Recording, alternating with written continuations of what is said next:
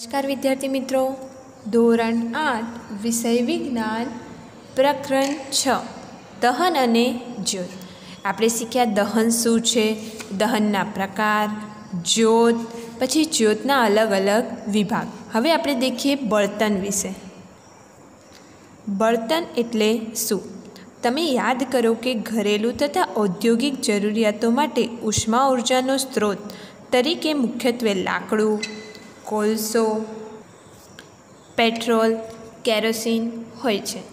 આવા પદાર્થોને બળતણ અથવા તો ઈંધણ કહે છે. હવે આપણે એવું પૂછવામાં આવે કે બળતણના ઉદાહરણ આપો. તો પેટ્રોલ, કેરોસીન, કોલસો, લાકડું આ બધા શું થયા?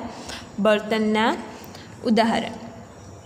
એક સારું બળતણ એને કહેવાય છે કે જે તરત જ ઉપલબ્ધ હોય. તે સસ્તું હોય તે મધ્યમ દરે હવામાં સારી રીતે દહન પામતું હોય. તે મોટા પ્રમાણમાં ઉષ્મા ઉત્પન્ન કરતું હોય. તે કોઈ અનિચ્છનીય પદાર્થના અવશેષો ન છોડતું હોય. એટલે કે આપણે કોઈક પદાર્થ સળગાવીએ છીએ, ત્યારે અનિચ્છનીય એટલે કે આપણે નુકસાન કરતા હોય, પ્રદૂષણ કરતા હોય, એવો વાયુ ઉત્પન્ન થાય છે. એવા વાયુ ઉત્પન્ન ન કરતો હોય. સસ્તું હોય. આપણે જ્યારે જોઈએ ત્યારે મળી શકતું હોય, ખૂટી ન જાય. એવા બળતણને આદર્શ બળતણ કહે છે. આ શું થયું? આદર્શ બળતણના ઉદાહ, ગુણધર્મો. કાં તો આપણે એવું કહીએ, આદર્શ બળતણ કોને કહે છે? તો આ થયો એનો જવાબ. આપણે એવું બળતણ વિચારવું જોઈએ કે જે ચોક્કસ ઉપયોગ માટે વધારેમાં વધારે જરૂરિયાત પૂરી કરતું હોય. બળતણ તેની કિંમતમાં જુદા પડે છે. કેટલાક બર્તન અન્ય બર્તન કરતાં સસ્તા હોય છે. તમે જાણતા હોવ તેવા બર્તનની યાદી તૈયાર કરો. કોષ્ટક છ પોઈન્ટ ત્રણમાં દર્શાવ્યા મુજબ તેને ઘન, પ્રવાહી અને વાયુમાં વર્ગીકૃત કરો. આપણે એક યાદી તૈયાર કરવાની છે કે જેને બર્તનનું સ્વરૂપ ઘન બર્તન, પ્રવાહી બર્તન અને વાયુ બર્તન. અહીં આપેલું છે ઘન બર્તન તરીકે કોલસો પ્રવાહી બળતણ તરીકે કેરોસીન, વાયુ બળતણ, કુદરતી વાયુ. એવા તમે જાતે ઘણા બધા ઉદાહરણ લખી શકો, ધારો કે ઘર બળતણ તરીકે આપણે ઉપયોગ કરીએ છીએ લાકડું, છાણા, પ્રવાહી બળતણ તરીકે ડીઝલ, કેરોસીન, પેટ્રોલ, પછી વાયુ બળતણ તરીકે કુદરતી વાયુ છે, બાયોગેસ છે, એલપીજી છે, એવા ઘણા બધા બળતણનો આપણે ઉપયોગ કરીએ છીએ. હવે આગળ દેખીએ બળતણની કાર્યક્ષમતા. માની લો કે તમને છાણા, કોલસા તથા એલપીજી જેવા બળતણ આપીને કોઈ ચોક્કસ જથ્થામાં આપેલું પાણી ઉકાળવાનું કહેવામાં આવે છે. તમે કયું બળતણ પસંદ કરશો? તમારા કારણો આપો. હવે આનામાંથી તમે કયું બળતણ પસંદ કરશો અને શું કામ પસંદ કરશો? તમે તમારા માતા પિતાની મદદ લઈ શકો છો. શું આ ત્રણેય બળતણ સરખા પ્રમાણમાં ઉષ્મા ઉત્પન્ન કરશે. એક કિલોગ્રામ બળતણનું સંપૂર્ણ દહન થવાથી ઉત્પન્ન થતા ઉષ્મા ઉર્જાના જથ્થાને તેનું કેલેરી મૂલ્ય કહે છે. કેલેરી મૂલ્ય કોને કહે છે? કાં તો કેલેરી મૂલ્યની વ્યાખ્યા. એક કિલોગ્રામ બળતણનું સંપૂર્ણ દહન થવાથી ઉત્પન્ન થતી ઉષ્મા ઉર્જાને કેલેરી મૂલ્ય કહે છે. બળતણનું કેલેરી મૂલ્ય કિલો જૂલ પ્રતિ કિગ્રા, એટલે કે આ રીતે સંકેતમાં દર્શાવાય છે એનો એકમ છે. કેટલાક બળતણને કેલેરી મૂલ્ય નીચે કોષ્ટક છ પોઈન્ટ ચારમાં આપેલા છે. જુદા જુદા બળતણની કેલેરી મૂલ્ય.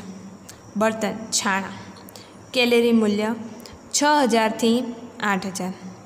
લાકડું સત્તર હજારથી બાવીસ હજાર, કોલસો પચીસ હજારથી તેત્રીસ હજાર, પેટ્રોલ પિસ્તાલીસ હજાર, કેરોસીન પિસ્તાલીસ હજાર, ડીઝલ પિસ્તાલીસ હજાર, મિથેન પચાસ હજાર, સીએનજી પચાસ હજાર, એલપીજી પંચાવન હજાર, બાયોગેસ પાંત્રીસ હજારથી ચાલીસ હજાર અને હાઇડ્રોજન એ એક લાખ પચાસ હજાર છે. આ કોઠો તમારે નોટબુકમાં દોરવાનો રહેશે. આના પરથી નાના નાના પ્રશ્નો પૂછાઈ શકે. તેમજ તમને આ જે વ્યાખ્યા ટીક કરાઈ છે, એ પણ તમારે તમારી નોટબુકમાં લખવાની છે. બળતણનું દહન હાનિકારક પદાર્થોનું ઉત્પાદન પ્રેરે છે. બળતણનો વધી રહેલો વપરાશ પર્યાવરણ ઉપર નુકસાનકારક અસરો કરે છે. હવે બળતણનો વધુ પડતો આપણે ઉપયોગ કરીએ છીએ, તેના કારણે જે અવશેષો એના દહનથી ઉત્પન્ન થાય છે, એ પ્રદૂષણોને નુકસાન કરતા પણ હોય. પહેલું, કાર્બન ધરાવતા બળતણ જેવા કે લાકડું, કોલસો અને પેટ્રોલિયમ વગેરે દહન ન થાય હોય તેવા કાર્બનના કણો છોડે છે. હવે કેટલીક વાર આ બધા લાકડું, કોલસો, પેટ્રોલિયમને દહન કરવામાં આવે છે ત્યારે જે દહન નથી થતા, એને કાર્બન સ્વરૂપે એ કણો છોડે છે. આ સૂક્ષ્મ કણો ખૂબ જ ભયાનક પ્રદૂષકો છે, જે શ્વાસ સંબંધિત રોગ જેવા કે અસ્થમા કરે છે. હવે એની કારણે શું થાય છે, જે પ્રદૂષકો કાર્બનના કણો છોડે છે, એને ભયાનક પ્રદૂષકારો છે. એટલે કે એ પ્રદૂષણ કરે છે અને જે શ્વાસના જે શ્વાસમાં આપણે જાય તો એના કારણે આપણે રોગો થઈ શકે છે, અસ્થમા કરે છે. હવે એના કારણે કયા રોગો થાય છે તો અસ્થમા જેવા રોગો થાય છે. સદીઓથી લાકડાનો ઉપયોગ ઘર વપરાશના તથા ઔદ્યોગિક બર્તન તરીકે થતો આવ્યો છે. પરંતુ હવે કોલસો અને એલપીજી જેવા બર્તન દ્વારા તેનું સ્થાન લેવામાં આવ્યું. આપણા દેશના ઘણા ગ્રામીણ વિસ્તારોમાં લોકો હજુ પણ લાકડાનો ઉપયોગ કરે છે. કારણ કે સરળતાથી મળી જાય છે અને સસ્તું છે. જો કે લાકડાને બાળવાથી ખૂબ જ ધુમાડો થાય છે, જે લોકોના સ્વાસ્થ્ય માટે હાનિકારક છે. તે શ્વાસ સંબંધિત મુશ્કેલીઓ ઊભી કરે છે. વળી વૃક્ષો આપણને ઘણી બધી ઉપયોગી નીપજો આપે છે. તે બધી જ બર્તન તેને બર્તન તરીકે વાપરવાથી નાશ થાય છે. વળી વૃક્ષો કાપવાથી વન નાબૂદી થાય છે, જે પર્યાવરણ માટે ખૂબ જ જોખમી છે. જે તમે ધોરણ સાતમાં શીખી ગયા છો. હવે આપણે લાકડાનો ઉપયોગ કરીએ તો તેના કારણે પર્યાવરણને નુકસાન થાય, વૃક્ષો કાપવાથી વન નાબૂદી થાય, એના કારણે ધુમાડો પણ ઉત્પન્ન થાય. એ સરળતાથી મળી શકે ને સસ્તા મળી શકે, પરંતુ તેના કારણે પર્યાવરણ જોખમાય છે. બીજું, આ બળતણના અપૂર્ણ સળગવાથી કાર્બન મોનોક્સાઇડ વાયુ ઉત્પન્ન થાય છે, જે, તે ખૂબ જ ઝેરી વાયુ છે. બંધ ઓરડામાં કોલસા સળગવો ખૂબ જ જોખમી છે. આ દરમિયાન ઉત્પન્ન થતો કાર્બન મોનોક્સાઇડ વાયુ તે ઓરડામાં સૂતેલા લોકોનું મૃત્યુ કરી શકે છે. જો કોલસો બંધ દરવાજા એટલે કે બંધ ઓરડામાં સળગાવવામાં આવે તેના કારણે શું ઉત્પન્ન થાય છે? કાર્બન મોનોક્સાઇડ વાયુ. અને તે આપણે ખૂબ જ નુકસાનકારક હોય છે. તે તેના કારણે માણસની મૃત્યુ પણ થઈ શકે છે. મોટાભાગના બળતણના દહનથી, દહનને લીધે કાર્બન ડાયોક્સાઇડ ઉત્પન્ન થાય છે. કાર્બન ડાયોક્સાઇડનું વધતું પ્રમાણ ગ્લોબલ વોર્મિંગ, પ્રેરે તેમ મનાય છે.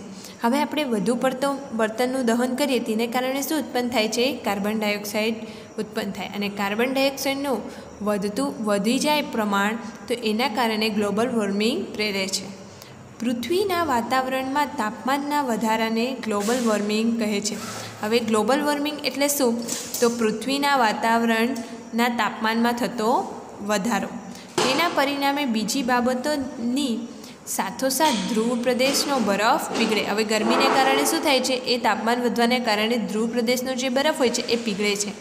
જેને લીધે દરિયાની સપાટી ઉપર આવે તથા કિનારાના વિસ્તારમાં પૂરની સ્થિતિ પેદા થાય. દરિયાની બરફ પીગળવાના કારણે એ બરફ દરિયામાં પાણી સ્વરૂપે વળવાનું અને એની સપાટી ઉપર આવે તો તેના કારણે પૂરની સ્થિતિ પેદા થાય. બની શકે કે તે નીચાણવાળા પ્રદેશોમાં હંમેશા માટે ડૂબી જાય. હવે જે નીચાણવાળા પ્રદેશો કિનારા પર વસેલા હોય, એ શું થઈ જાય છે? ડૂબી જાય છે. ચોથું, કોલસા અને ડીઝલના દહનથી સલ્ફર ડાયોક્સાઇડ વાયુ ઉત્પન્ન થાય છે. તે ખૂબ જ ગુંગળામણ ઉત્પન્ન કરે છે. તેવો અને સડો કરનાર વાયુ છે. વધારામાં પેટ્રોલ, એન્જિન, નાઇટ્રોજનના વાયુ રૂપે ઓક્સાઇડ્સ ઉત્પન્ન કરે છે અને સલ્ફર નાઇટ્રોજન ઓક્સાઇડ વરસાદના પાણી સાથે ભળીને એસિડ બનાવે છે. આવા વરસાદને એસિડ વરસાદ કહે છે. હવે એના કારણે સલ્ફર અને નાઇટ્રોજન ઓક્સાઇડ ઉત્પન્ન થાય અને એ પાણી સાથે ભળે તો એસિડ બનાવે અને એને આપણે શું કહીએ છીએ? એસિડ વરસાદ. તે ખેતીના પાક, ઇમારતો અને જમીન માટે ખૂબ જ હાનિકારક છે. હવે તેના કારણે શું થાય છે કે ખેતીના પાક ખેતરમાં જે પાક લેવામાં આવે, એના પર જો એ વરસાદ પડે, તો એ વરસાદ શું કરે છે? ખેતીના પાકને નુકસાન કરે. તેમજ ઇમારતો પણ હોય, તેને પણ એસિડ વરસાદ નુકસાન કરે છે. અને જમીન પર જો પડે, તો એ જમીનની ફળદ્રુપતા જળવાઈ રહેતી નથી. પેટ્રોલ અને ડીઝલના વાહનોમાં હવે બળતણ તરીકે સીએનજી, કોમ્પ્રેસ નેચરલ ગેસ. હવે આનું ફૂલ ફોર્મ પૂછાઈ શકે. કે આનું પૂરું નામ શું છે? નો ઉપયોગ થાય છે. કારણ કે સીએનજી ખૂબ જ ઓછા પ્રમાણમાં હાનિકારક પદાર્થ ઉત્પન્ન કરે છે અને સીએનજી એ સ્વચ્છ છે. હવે તમને પ્રશ્ન કારણ પૂછી શકે, પેટ્રોલ અને ડીઝલના વાહનોમાં હવે બળતણ તરીકે સીએનજીનો ઉપયોગ થાય છે. શું કામ સીએનજીનો ઉપયોગ થાય છે? કારણ કે સીએનજી ખૂબ જ ઓછા પ્રમાણમાં હાનિકારક પદાર્થ છે અને સીએનજી એ સ્વચ્છ બળતણ છે.